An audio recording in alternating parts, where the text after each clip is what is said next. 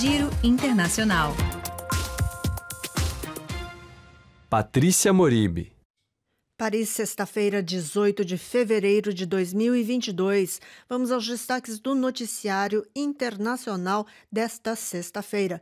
A França se prepara para a passagem da tempestade Eunice. Cinco departamentos do litoral norte e noroeste estão sob alerta laranja. A tempestade deve provocar ventanias no litoral com rajadas mais intensas no período da tarde. Os ventos podem alcançar 140 quilômetros por hora, segundo o Serviço de Meteorologia francês. Várias linhas de trem não vão funcionar. As autoridades locais aconselham as pessoas a permanecer em casa. Reino Unido, Bélgica e Holanda também estão em estado de alerta para a passagem de Eunice.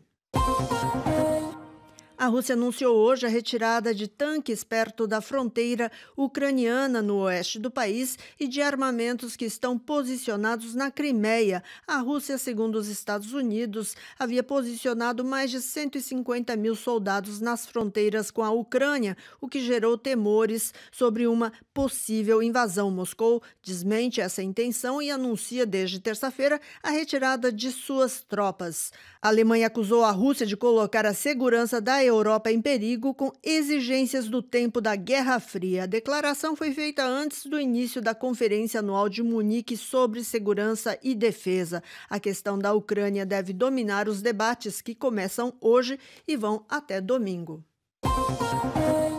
Israel está prestes a suspender o passaporte de vacinação e outras medidas após a queda no número de infecções pela variante Omicron no país. O primeiro-ministro israelense Naftali Bennett anunciou que a partir de 1 de março, o passe verde, o passaporte vacinal em vigor no país há mais de um ano, deixará de ser exigido. O atual sistema vai expirar em 28 de fevereiro e não será prorrogado.